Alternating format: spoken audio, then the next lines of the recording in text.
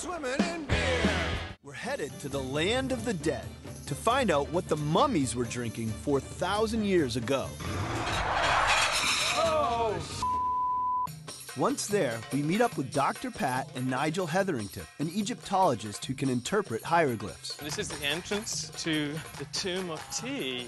The Tomb of Ti was discovered in 1865. Ti was a nobleman of the 5th dynasty, roughly 2400 BC. He had over 100 titles, including Overseer of the Pyramids. This is Ti. This tomb is a sort of comic book of Egypt because the reliefs show everything that he wanted to take with him to the afterlife. These are magical reliefs. They can come alive in the afterlife.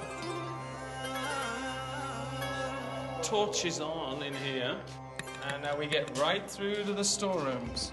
This is where we based all the interpretation of bread and beer for 200 years in ancient Egypt.